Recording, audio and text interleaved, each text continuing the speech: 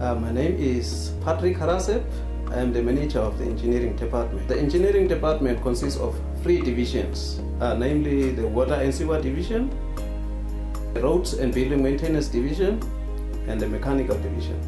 The responsibility of the water and sewer division is actually to ensure that the residents of Okahandja is having access to quality drinking water and sanitation.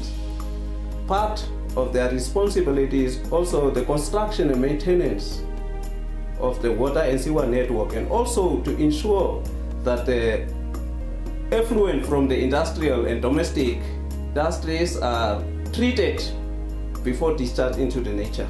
The responsibilities of the roads and building maintenance division is the construction and maintenance of the roads and the municipal buildings.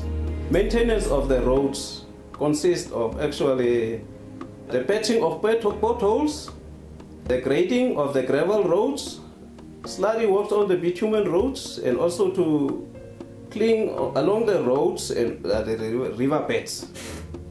The part of the mechanical division responsibilities are to ensure that the equipment and the vehicles of the council are worthy and operational in order to ensure that the services of the council are actually not interrupted.